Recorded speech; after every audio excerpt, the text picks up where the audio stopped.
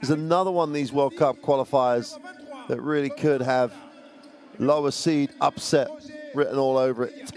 We'll have some aspirations for turning over the current Afro Afrobasket champions. Tunisia under coach Dirk Bauermann.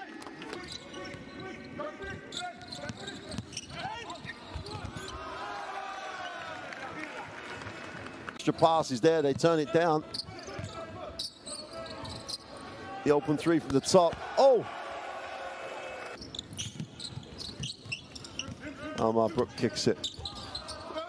Oh, a little bit of uh, magic off the glass.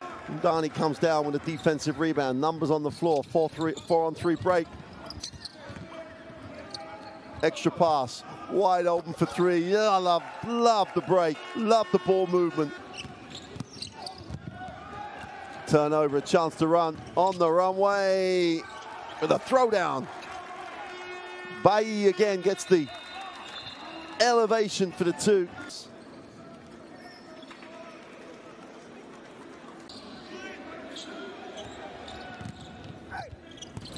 Oh, great work defensively. Got to put up the tough one. The prayer is not answered. They try and back in. Super, super finish. Backs him down. I don't want to shoot it yet.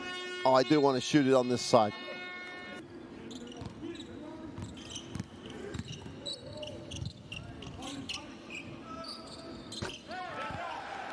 Back-to-back -back threes.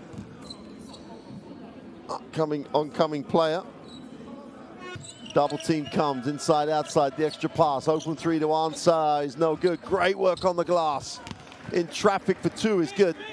To the Philippines, Indonesia, and Japan.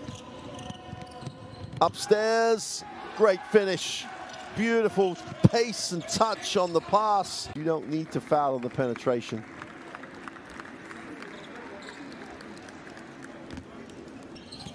Inside, outside. Abada turns down the opportunity to attack it, steps back, seven on the possession.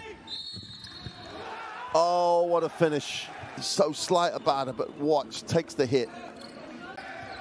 Pitard gets Cameroon into the half court. He's got some pick and pop action here with an extra pass. Oh, oh, oh, oh, oh. Goes to the ring and throws it down. Then he shakes a move, gets into some space and